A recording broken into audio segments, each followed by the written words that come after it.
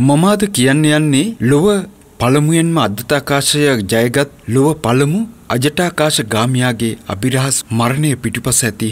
තිත්ත කතාවක්. එදා ඇමරිකාව ඔවුන්ගේ අජටාකාශ දැනුම ලොවට පෙන්වන්න එක්ස්පලෝර නමින් යානයක් ගුවන් ගත කළහම සෝවියට් දේශෙද්ද තම දැනුම පෙන්වන්නට ස්පුට්ඩික් යානාව උඩුගුවනට යමු කලා. සෝවියට් දේශ එදසමසි හැටතුනේදී වොස්ටොක් සික්ස් යානයෙන් මුල්වරට කාන්තාවක් උඩුගුවනට යවා වාර්තාවක් තැබවා. ඒ තමයි වැලන්ටිනා තෙරස්කෝවා. ඇමරිකාව එදස් නමසේ හැටනමේදී මිනිසුන් තුන් දෙනෙක් මුල්වරට සඳමතට යවමින් මානව සංහතිය අලුත් අජටාකාශ විද්‍යාත්මක ලෝකට කැඳවාගෙන ගියා. අජටාකාශය ජයගැනීම සඳහා මෙලෙස එදා බලගතු රටවල් දෙක තරඟවැදී අවසානයේ හැත්තෑව දශකය මුලදී ඇමරිකානුවන් ඇපොලෝ යානයකුත් සෝවියට් දේශයෙන් සෝයුස් යානයත් අජටාකාශයට යවා එම යානා දෙක උඩුගුවනදී එකට යාකර දෙරටේ අජටාකාශ ගාමීන්ට එක්වීමට අවකාශ සැලැස්වා.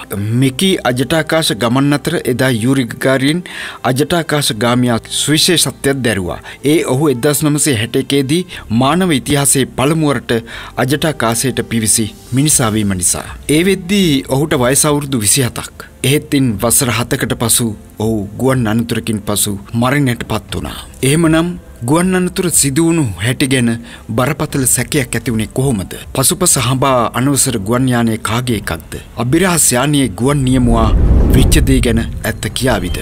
රැඳී ඉන්න පහා. රුසියාවේ කෘෂිකෝව් ගමේ උපන් යෝරි ඇලෙක්සීවිච් ගගාරින් කුඩා කල හැදුන වැඩුනේ ගැමි පරිසරයක.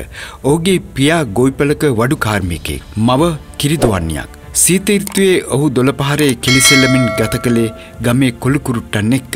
වොල්ගා ගඟබොට සරතව් කාර්මික විදුහලයක ඉගෙනගත් යූරි යොවුන්වේදී ගුවන්යානා පැදවීමේ ආශාවෙන් ඔරුන්බර්ග් ගුවන්යානා අධ්‍යාපන ආයතෙන්ට ඇතුළත්ව නියමු ශිල්පය හදාරා උපාදියහිමි කරගත්තා. ඔහුගේ පෙම්බතිය වුණේ වැලන්ටිනා. ඇය සමඟ එදසමසේ පනස් සතේදී අතිනතගෙන සයිබීරයානු ආර්ථික කලාපයකට ගියේ රැකියාවක් අපික්ෂාවෙන්. යූරි ගගාරින් නාමේ ලෝක ඉතිහාසට එක්වයේ මේ ගමනින් පස්සේ. එදසමසේ හැටේ දශකේ වෙන විටත් ඇමරිකා රුසියා උඩුගුවන්ට පිවිසීමේ තරගේ ඇවිලී තිබුණා. මුලින්ම අජටාකාශයට මිනිසකු යවන්නේ අපි සෝවිට් සංගම පාරම්බාමින් හිටියා. අජටාකාශයට යවන ලොව පළමු රුසියානුව කෞදයි යන්න සෝවියට් අජටාකාශ අධිකාරිය ඉක්මන් තීරණයක් ගත්තා. තෝරා ගැනුනේ යූරි ගගාරින්. ගගාරින් උඩුගුවනට යැවෙන කිලෝග්‍රෑම් හරදා සත්සිය තිහක් බරති වොස්ටොක් යානයද ඉක්මනින් නිර්මාණය කරුණා. ඒ ඓතිහාසික දිනය එළඹුණා. දිනේ එදසමසි හැටේකේ අප්‍රේල් දොළොස්වනිදා. කසකස්ථානයේ බයිකෝනු රජටාකාශ තොටුපොලින්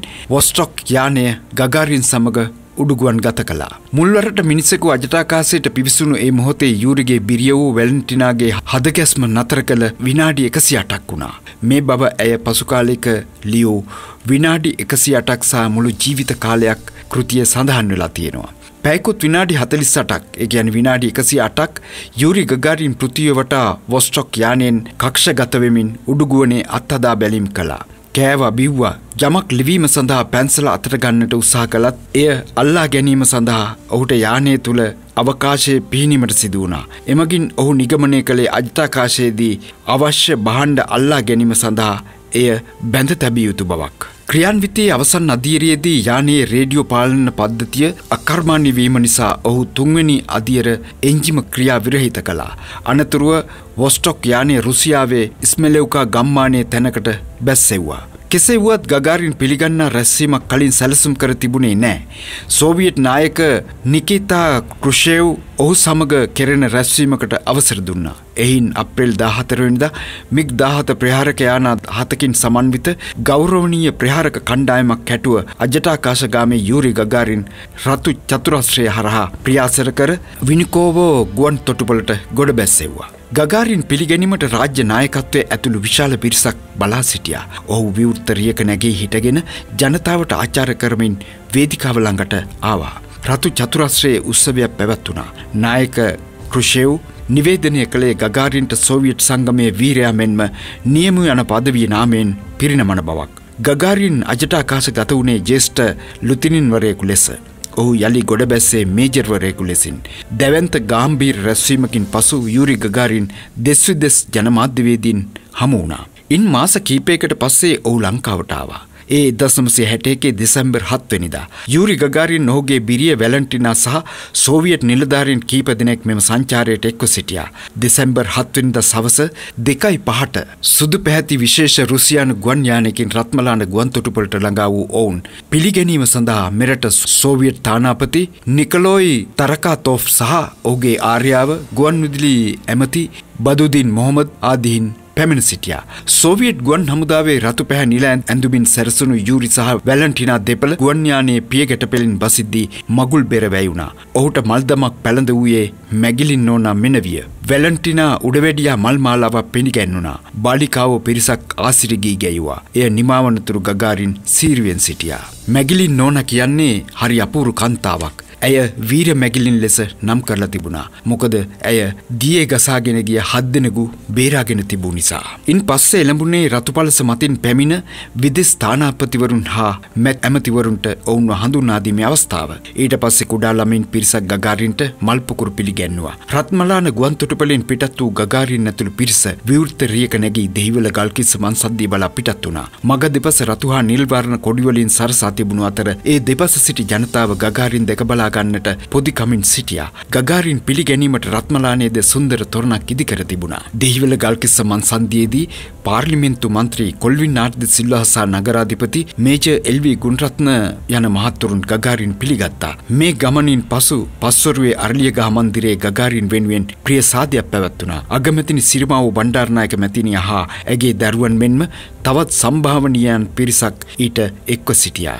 එහිදී මේජර් යූරි ගගාරින් කතාව පවත්වමින් තම සහෝදර අජටාකාශගාමින්ගේ සකල සෝවියට් ජනතාවගෙත් සුබ පැතුම් ලාංකේ ජනතාව වෙත පෞද්ගලිකව පිරිනැමීමට ලැබීම ගැන ප්‍රීතිවන බව පැවසුවා. මිනිසෙකු රැගත් අජටාකාශ යානයක් උඩුගුවනට හැකි වූ බවත් ඉන්පසු වොස්ටොක් දෙක යානයෙන් තමන්ගේ අජටාකාස සොහිරු හර්මන් ටිටව් පෘතිය වටේ පැය විසි පහක අභ්‍යාස ගමනක යෙදුණු බවත් හෙතෙම මතකයට නැංවා. පසුදින යූරි ගගාරින් ඇතුළු පිරිස මහනුවරටත් අනතුරුව පේරාදිනිය උද්බිද් උද්‍යානයටත් ගොස් තම ගමන සිහිවීමට එහිද ගසක් රෝපණය කළා. යළි සිය රටට ගිය ගගාරින් සුපුරුදු ලෙස ගගන පර්යේක්ෂණ කටයුතුවල නිරත වුවද එදසම්සේ හැටාටේ මාර්තු මාසේදී හදිසි ගුවන් අනතුරකින් මිය ගියා. ඒ වන විට ඔහුට වයස අවුරුදු 34ක්. ඔහුගේ මරණයට හේතුව ගුවන් අනතුරක් බව සඳහන් වුවද එම අනතුරට හේතුව කුමක්ද යන්න තවමත් අභිරහසක්. අනතුර සිදුවන අවස්ථාවේ එම යානය තුල ඔහු සමග ගුවන් යාන උපදේශක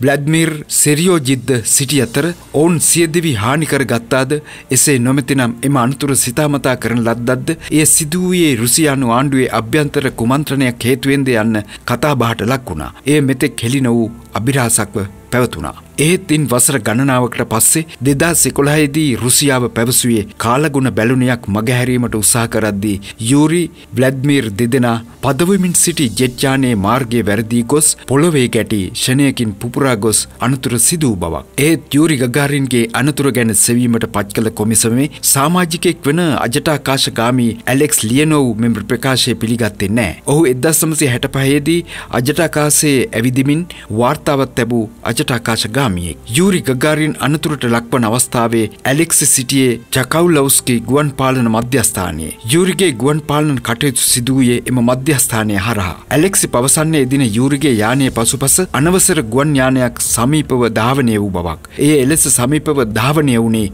ඇයිදැයි කිසිවෙකු දන්නේ නෑ. බර ගුවන් යානයක් ජෙට් යානයක් ළඟින් ධාවනය වුණොත් ජෙට් යානය සර්පිලාකාරව වැටෙන්නට පුළුවන්. යූරිට උනේ ඒකයි. කොමිසමට මම දුන් ශාක්ෂියත් වෙනස් කර තිබුණා. ඇලෙක්සි ලියනොව් වෙබ් අඩවිකට පවසා තිබුණා. යූරි අනතුරට පච් කළ අභිරහස්යානයේ නියමුවා තාමත් ජීවතුන් අතර සිටින බවත් ඔහු කවුදයි හෙළි කළ නොහැකි බවත් ලියනොව් පැවසුවා. ඒත් යූරි ගගාරින් සතු ධෛර්යය විඳදරා ගැනීමේ ශක්තිය ජයග්‍රහණයට ඇති කැමැත්ත ස්තුති වෙන්නට යූරි ගගාරින්ගේ නම ලෝක ඉතිහාසයේ පිටුමත සදාටම ලියවී අවසන්. මේ තොරතුරු මෞබ්බිම පුවත්පතේ බන්දුල ගුණරත්නගේ ලිපියක් ඇසුරෙන්. තොරතුරු ගෙනා මම බඳුලකේ ජාගුඩ අමතක කරන්න එපා සබස්ක්‍රයිබ් කරන්න ස්ටඩියෝ ජා.